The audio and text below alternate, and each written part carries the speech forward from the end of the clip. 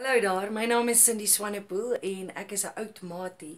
So natuurlik wil ek vir my gunsteling universiteit sê, baie sterkte met die Varsity Sing kompetisie. Julle gaan wen, ek weet dit. Ek hou vir julle duime vas. Go Stellenbosch!